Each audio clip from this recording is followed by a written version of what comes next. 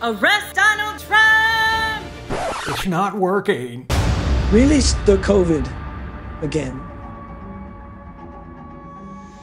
Yo, what's up, guys? It's your boy Benny. So let's go ahead and check in on the national polls here. Joe Biden versus Donald Trump, both presumptive nominees for the presidency. You can assume that they're going to be the guys, both leading pretty, pretty commanding in their respective parties.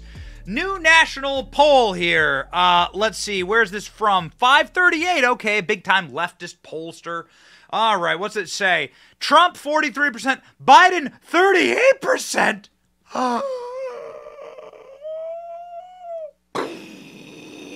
Whoa!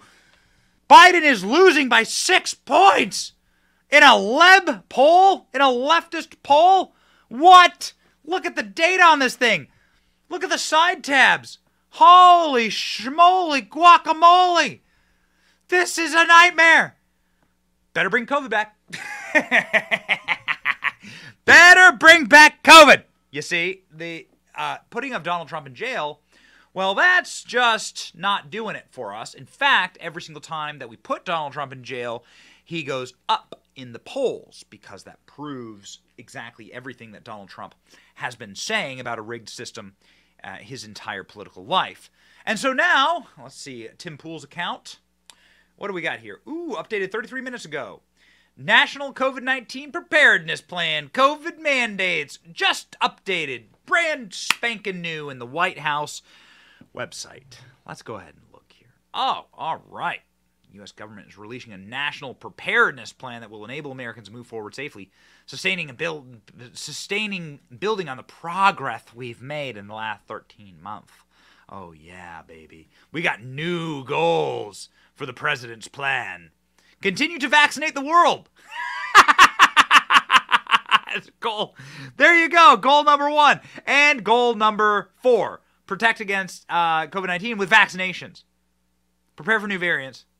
Prevent economic and educational shutdowns. Oh, got it. Okay, got it. You just throw, throw one of those in there. It's always the opposite of what they say. They want economic shutdowns. They want education shutdowns. They want full control. Notice how vaccines are on, on uh, number one and number four, and there you go. First thing you see is va- is vaccines.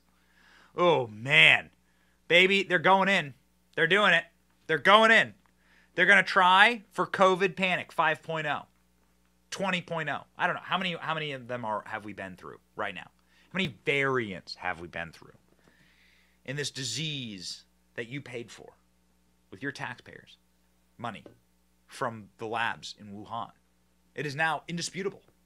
We have the documents. The NIH funded gain of function research in China and then covered up what they were doing. We now know it. And Fauci has been criminally referred. You ready for COVID 2.0? It was very, very convenient, COVID 1.0, you see, because what it did is it was the lever to push the Republican legislatures in Wisconsin and Michigan and Pennsylvania and Georgia into mail-in balloting. Because of course you if you can't be together in a supermarket, you certainly can't vote together. Every old person needs to like mail in their ballots, right? Well, get ready. Hollywood, of course, the people who are always on the front lines of this kind of psyop, psyop, psyops everywhere are bringing back mask mandates. Lionsgate, pretty big studio there, which makes Saw and Hunger Game franchises, asks office staff to don face mask coverings and test again as COVID hospital rates rise for the fifth week. Get ready. So they start. They start with places like the entertainment industry, right? This was this was all of the uh, like there's uh, like Andrew Garfield, right? There you go. Everyone wearing masks, everyone wearing face shields. Here's their little graphs again. Here's their little variant levels again. Oh no, it's up, it's ticking up 10%, 5%. Yep.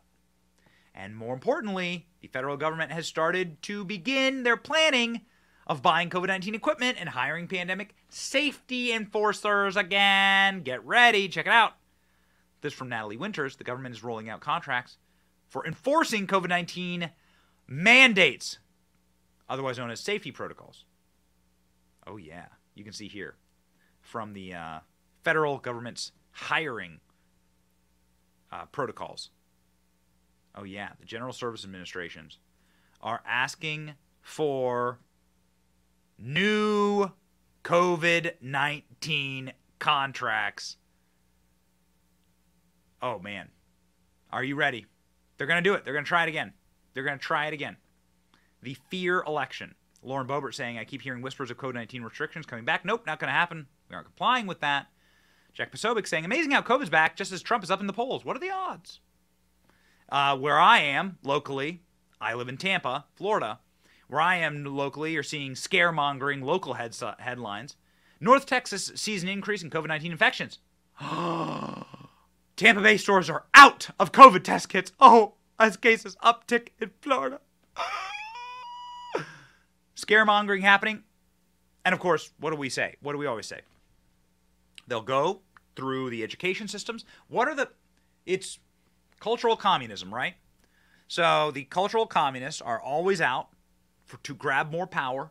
They grabbed a lot of it during COVID 1.0, and now they're going to try it again with COVID 20.0. And so what are they, what are they doing here? Okay, they're going to use cultural communists. They for, they say screw the working class. Karl Marx said go after the working class.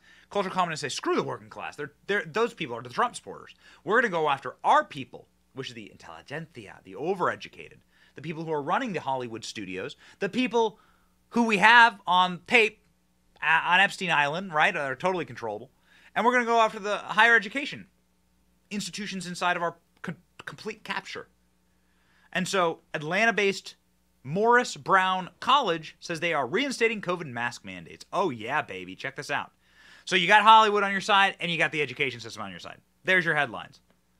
August 20th, 2023, this week. Greetings, faculty and staff. Effective immediately, Morris Brown College has reinstated its COVID 19 mask mandate due to reports of positive cases among students. Oh, man. Mask wearing. All students are required to wear face masks. I've never seen this stuff. It's like watching a dinosaur. It's like being in Jurassic Park, like watching a dinosaur brought back to life. Physical distancing, large gatherings will not be allowed. Isolation and quarantine, contact tracing, symptoms monitoring, hand washing. Get ready. They're bringing it back, baby. And of course, if Scott Gottlieb, the Pfizer board member, is being trotted at back out, greasy scumbag Pfizer board member, former FDA commissioner, is being trotted back out to scaremonger about COVID, oh yeah, get ready. Get ready. People are about to make a ton more money. You know, Pfizer stock and Moderna stock and the big pharma stocks are down like 98%. What do you think was going to happen? Us as an American people need to say no. Say no to the scaremongering. Say no to the fearmongering. Say no to the psyops and the mind control. Live a life of hard data and open your eyes, ladies and gentlemen. They're coming back. They're coming back. It's the reunion, the COVID reunion tour. Are you prepared? They're getting desperate. This does certainly seem like a controlled demolition. This certainly does seem like people that are in full and total panic right now. Don't join them in the panic, okay? Keep your head on a swivel, keep your eyes open, and more importantly, your mind open. It's your boy Benny. Like, share, and subscribe to end communism, COVIDism. See ya.